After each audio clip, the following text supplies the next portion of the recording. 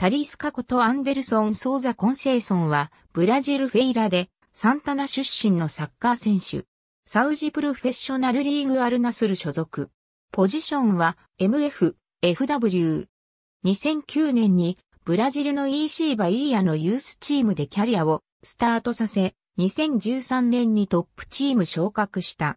7月7日、SC コリンチャンスパウリスタ戦でプレデビューを果たし、サンパウロ FC 戦でプロ初得点を記録した。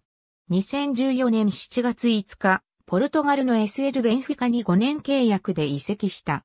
移籍金は400万ユーロとされている。